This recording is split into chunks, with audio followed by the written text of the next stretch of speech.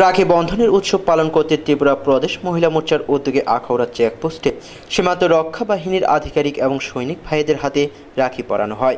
এই দিনের এই রাখি বন্ধনের উৎসবে উপস্থিত ছিলেন ত্রিপুরা মহিলা মোর্চা প্রদেশের সভানেত্রী পাপিয়া দত্ত সহ প্রতিমা ভৌমিক এবং আরও অনেকেই।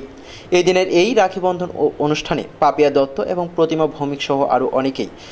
ত্রিপুরা প্রদেশ মহিলা মোর্চার উদ্যোগে আখাউড়া চেকপোস্টের সীমান্ত রক্ষী বাহিনী এবং জওয়ানদের হাতে রাখি পরে দেন साल थोड़ा उत्सव ज्यादा है आज बांग्लादेश का जितना है सब लोगों का उत्सव इतना ज्यादा है ऐसा लगता है हम लोग ऐसे ऐसे बॉर्डर एक हुआ है वही है लेकिन दिल से हम बहुत करीब है वो बांग्लादेशी लोग हम लोग को इतना अच्छा रिसीव किया है हम लोग को अच्छा महसूस हुआ बांग्लादेश और हम अ, ऐसे ही एक जियोग्राफिकल बाउंड्री के अंदर एक रेखा है वही है और कुछ भी नहीं है दिल से हम दूर नहीं है बंधन के लिए आए हैं। वो आज नहीं, हमारा पार्टी का परंपरा ही है।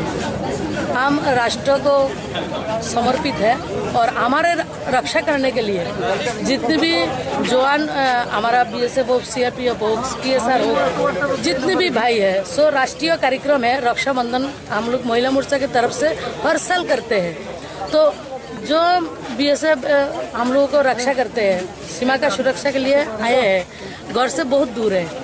हम लोग बहन लोग आते हैं, उन लोग इसीलिए जो घर का कमी उन लोगों को महसूस ना हो।